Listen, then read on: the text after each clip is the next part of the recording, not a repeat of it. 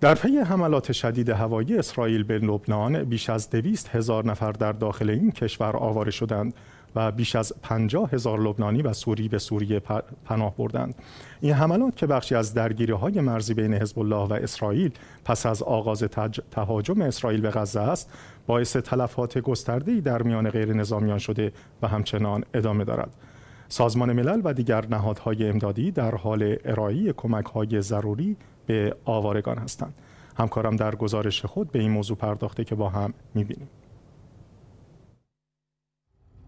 فیلیپو گراندی کمیسر عالی سازمان ملل در امور پناهندگان روز شنبه اعلام کرد که بیش از دویست هزار نفر در داخل لبنان به دلیل حملات هوایی اسرائیل آواره شدند. وی همچنین اضافه کرد که بیش از پنجاه هزار نفر از لبنانی ها و سوری های مقیم لبنان به دلیل شدت حملات هوایی اسرائیل به سوریه پناه بردند. این آوارگی گسترده پس از حملات متقابل حزب الله و اسرائیل رخ داده است که از زمان حمله حماس به اسرائیل در هفته اکتبر آغاز شده است.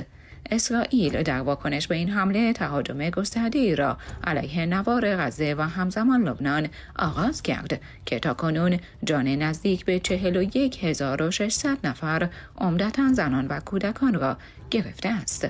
حملات هوایی اسرائیل به لبنان در روزهای اخیر شدت یافته و باعث جان باختن تعدادی از فرماندهان ارشد حزب الله و حتی سید حسن نصرالله رهبر این گروه شده است. بمباران شدید سایت های مختلف در سراسر لبنان نیز همچنان ادامه دارد. سازمان های بشر دوستانه از جمله کمیساریای عالی پناهندگان سازمان ملل در حال اجرای عملیات امدادی برای کمک به نیازمندان هستند. این کمک ها با هماهنگی دولت های لبنان و سوریه صورت می گیرد تا آوارگان و آسیب دیدگان این بحران را یاری کنند. نگرانی ها در خصوص تشدید درگیری ها و افزایش تلفات غیر نظامیان همچنان ادامه دارد.